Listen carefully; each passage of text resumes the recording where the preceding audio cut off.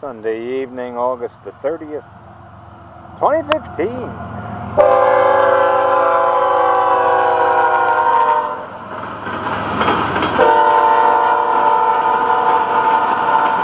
I missed the first number. The second one is 431. There are Tropicanas and three Walmarts on the bottom. There they go. 809, she says, is the time.